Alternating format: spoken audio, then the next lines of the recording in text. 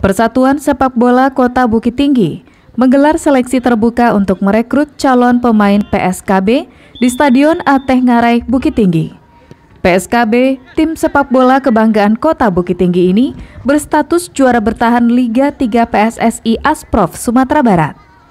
Namun gagal untuk promosi ke Liga 2 karena kalah dalam perhelatan Liga 3 tingkat nasional. Seleksi calon pemain PSKB mendapat respon positif dari para peserta. Tercatat yang mendaftar hingga lebih dari 200 orang. Karena di sini semuanya tidak ada yang semua.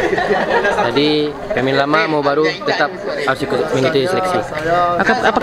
Ya seperti latihan nambah sendiri, uh, bareng teman-teman.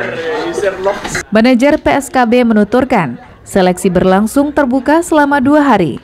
Selain calon pemain baru, seleksi juga diikuti pemain lama. Seleksi untuk menjaring 24 pemain tersebut diharapkan dapat melahirkan pemain yang akan menambah kekuatan skuad kebanggaan Kota Bukit Tinggi. Oh, ya, kita ikutkan semua.